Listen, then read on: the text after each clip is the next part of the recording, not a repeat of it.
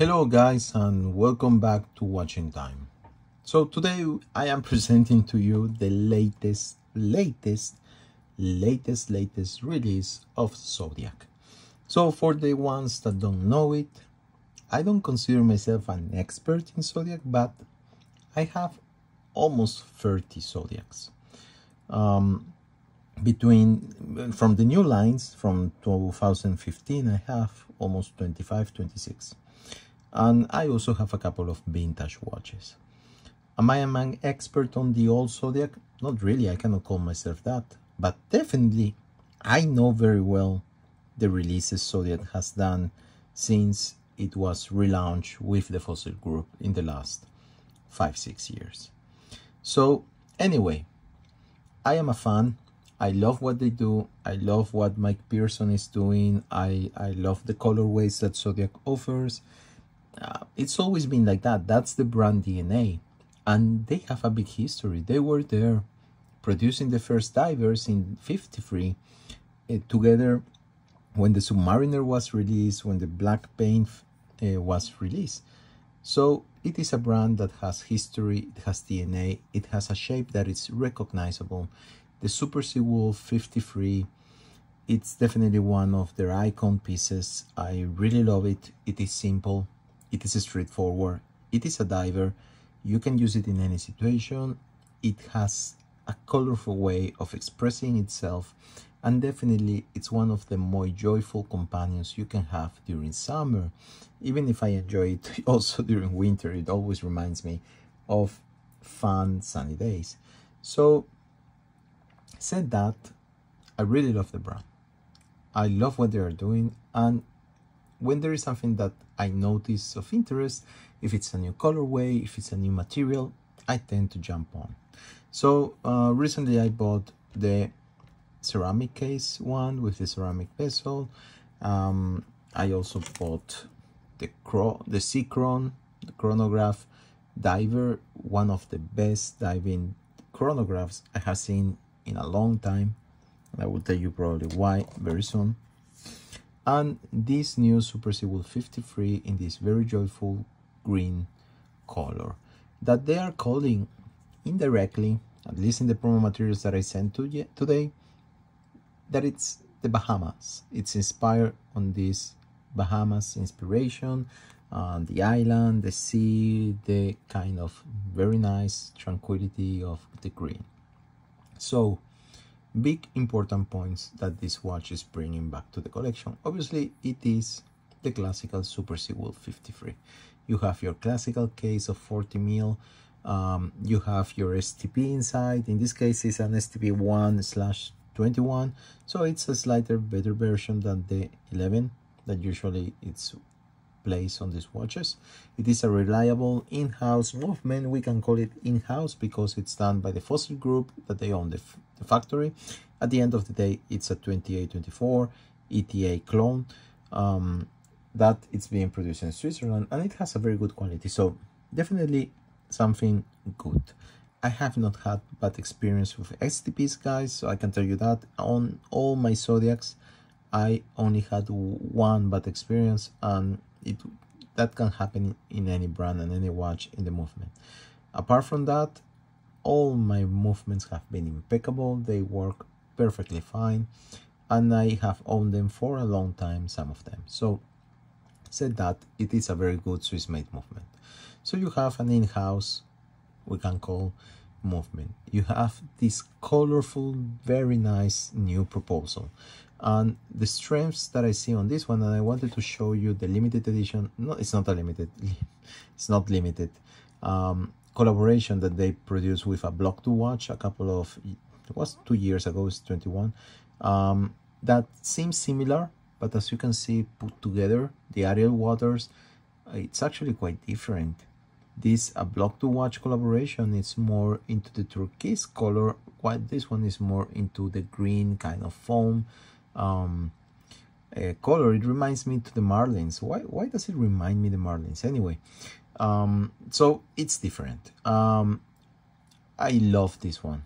And it came at a time with a price point that was slow, lower than the one that I pay for this one.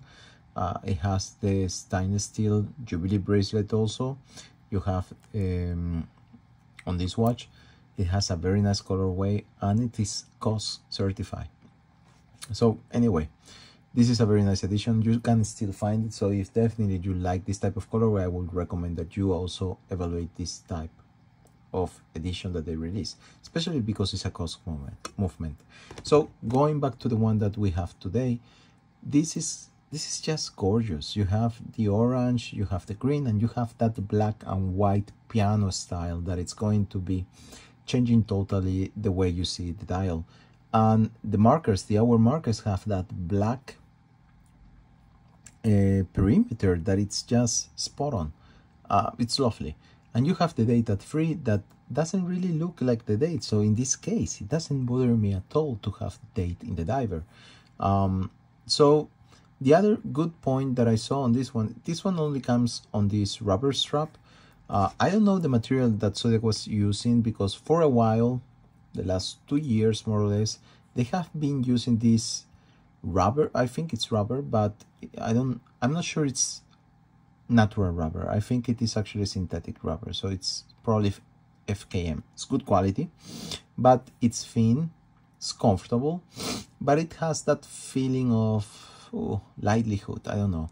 And it doesn't have the vanilla smell that I really like. I like it. So this one, on the other hand, is thicker. You can see the difference here. So it's a new composite material. Uh, they say it's rubber and it has um, vanilla scent. And it's true, it the vanilla scent is back. It was already here in the ceramic case one. So this one is also uh, vanilla scented. So my guess is this is Italian rubber and probably one of the big producers of Italian rubber is producing for them this strap. I don't think Tropic, it might be, it might be. The other positive way of this new release is that uh, we have the clasp uh, on the bracelet that it is it has the, the style also and the shape of the tropic so you have this kind of L shape compared to the old ones that were just straight so definitely it's the same manufacturer also on the thickness that we find on this one so they have changed the person that is providing the rubber straps point apart this is definitely something that only a nerd like me on Zodiac can notice uh, and I love it because it's back to vanilla I like vanilla scent. So anyway, this is a positive point. The other very weird thing that is going on with this watch is that when I got it a couple of days back, they have that time not yet put the marketing pictures or launch or whatever. So it was not in the Zodiac radar, let's put it that way. And when I received it, I immediately said, hmm, they use a ceramic bezel insert. Wow, this is something different for, for a while you, because Zodiac is well known for using K1 mineral crystal um, as their insert of choice.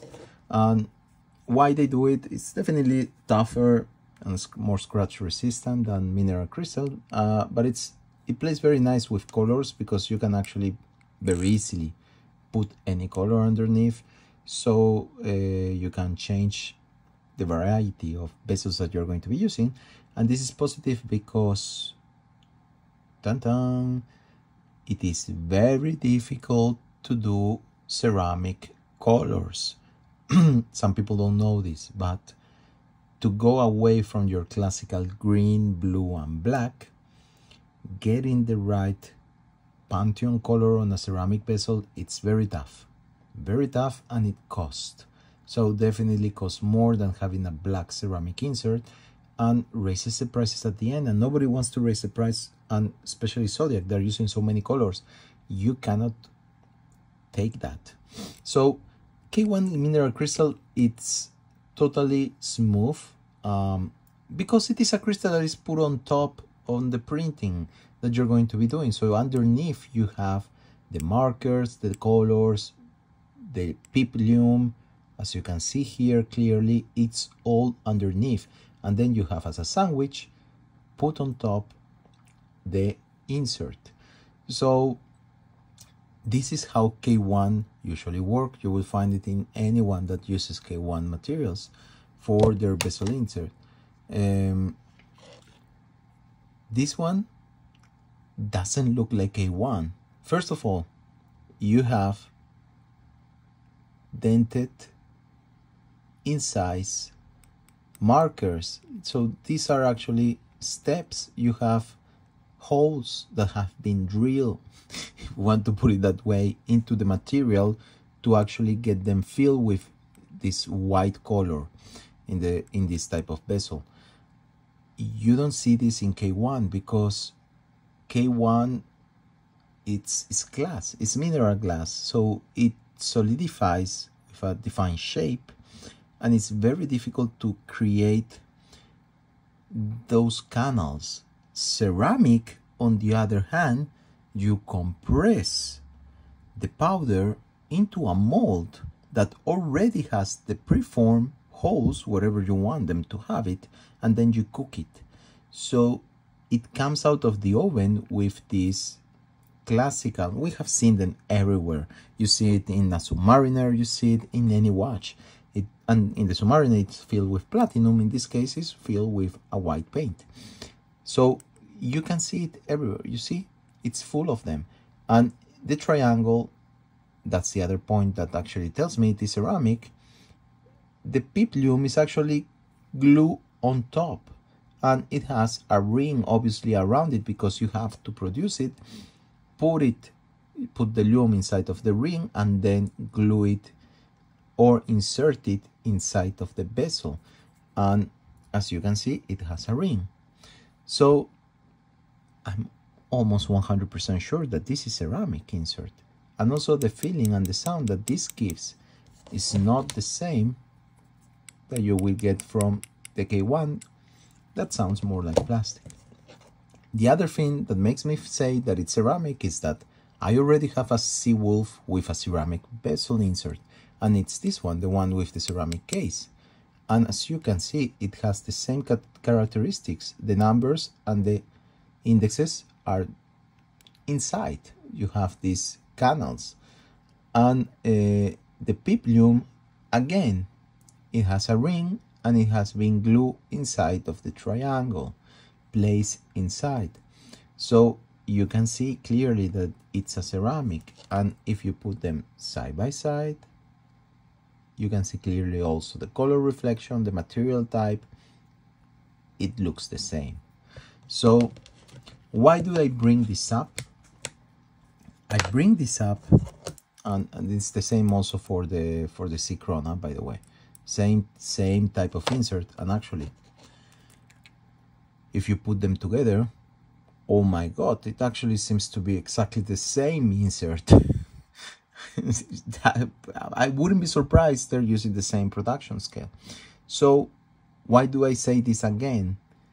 Because, because, um, I'm joking about the C It's not the same. It has a small difference. But I say this because in all the social Instagram pictures and, and the, the details that they have on the website, Zodiac is stating it as K1 mineral crystal. And when I wrote um, Mike asking him on Instagram, he answered me back saying, oh, well, it's K1 crystal.